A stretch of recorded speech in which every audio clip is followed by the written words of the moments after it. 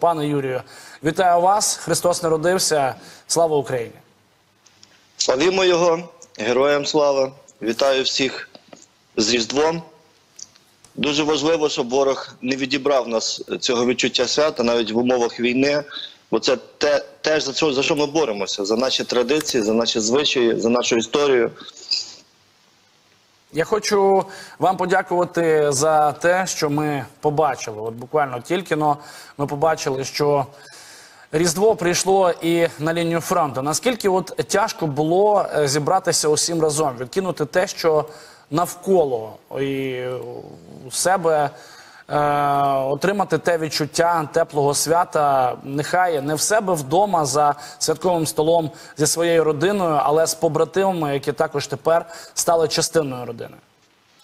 Усім е, разом, на жаль, зібратися не вдається ж ніколи. Е, Йдуть бойові чергування, бойові виїзди. Е, Більшість хлопців працює, тому за святою вечерею, за молитвою, за д- 12 стравами, які ми підготували так, з того, що нам привезли волонтери. На жаль, не всі вони були пісними, але так як є. Е, Помолилися. Е, Ну, дуже, дуже хотілося, щоб не перервалася ця лінійка звичаїв. Я звик щороку на Різдво ходити на, на всеночну до церкви. Дома завжди є свята вечеря. Тому цього разу організували серед кола побратимів. І повірте, було дуже тепло, дуже, дуже приємно. А вчора навіть дістали маленьку ялиночку, е, обвішали їх її гірляндами е, від гільз нашого гранатомету. Дістали ангеликів, які нам передали діти е, з Луцька. Голова Тернопільської обласної ради привіз кутю. І ті хлопці, які приїхали з бойового чергування, вчора приєдналися до цих свят.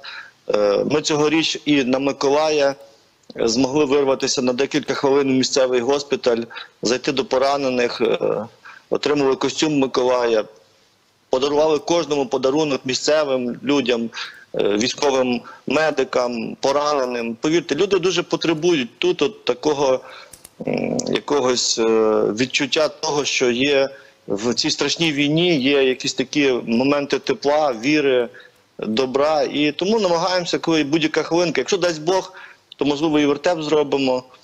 Вже замовили зорю, ну, але буде видно. Скільки страв на столі було? Чи вдалося виконати всі 12 е, смачних шедеврів? І хто був кухарем? Було традиційних 12 різдвяних страв. Е, Оскільки на фронті дуже напружена обстановка, декілька днів підряд нам не вдається приготувати теплої їжі, тому це така була свята вечеря в сухомятку. Е, Ось я сам зініціював, щоб їх було 12, так як і вдома. Все, що там передали волонтери, якісь огірочки. Ну було багато страв. Не всі вони були, на жаль, пісними. Я ще раз скажу. Були і полтавські галушки, і вареники з Тернопільщини, і е, закрутки різні, але 12 страв було на столі. Була молитва і була свята вечеря. Це дуже важливо. Скажіть, будь ласка, от е, багато м, е, готують передач на фронт, і багато є бажаючих, які передають е, е, їжу, е, свої якісь закрутки, домашні. Е, от таке можна передавати взагалі на фронт? Е, Слухайте, е, ми вже так жартуємо. У нас такий рік достатку. Нам щодня щось везуть люди, пишуть: а можна ми вам ще передамо? А можна ми вам вареників? А от полтавчани написали, «Мо- можна вам полтавських галушок передамо? А можна ще щось? Ми вже просимо зараз товариство, давайте вже трошки спиніться, тому що ну реально, реально дома, дома напевно, ми, ми не маємо можливості мати такого достатку в їжі, яке ми маємо завдяки нашим волонтерам. І це не припиняється. Ми безвивозно пів року на Донбасі. Е, вже десь 305 день на війні. Не було жодного дня, щоб ми не не відчували цієї опіки волонтерів і бажання допомагати. До нас тільки вчора дві делегації приїжджали. І це, якби кажу, це не припиняється. Для нас є проблемою, як робити так, щоб зберігати ці всі продукти, щоб з з повагою ставитися до тієї праці людей. Які можливо останні віддають, бо ми розуміємо, що зараз не найкраща ситуація в Україні, не найкраща ситуація в українських сім'ях, але ми розуміємо, що українці розуміють, що підтримка фронту це головне. І ми цю підтримку відчуваємо, поважаємо і розуміємо, наскільки вона є важлива. Але ж ви розумієте, ніхто не зупиниться, всі будуть далі продовжувати свою справу, підтримувати наших е, військових, бо ви наші герої, ви наші захисники, і ми не можемо просто вам не допомагати. Це обов'язок кожного українця. І пане Юрію, е, зазираючи наперед на цьому тижні, ми вже проводжатимемо 22-й рік. 23-й до нас прийде, і от е, 31 грудня. Чи чекаєте ви е, трошки тихішої ситуації на лінії зіткнення, чи вона буде все ж таки продовжуватися у тому ж темпі, як і зараз? На жаль, е, незважаючи на Різдво, незважаючи на цей традиційний свят, цикл різдвяних свят, е, ситуація на фронті істотно загострилася. Йдуть постійні бої на зустрічних парах.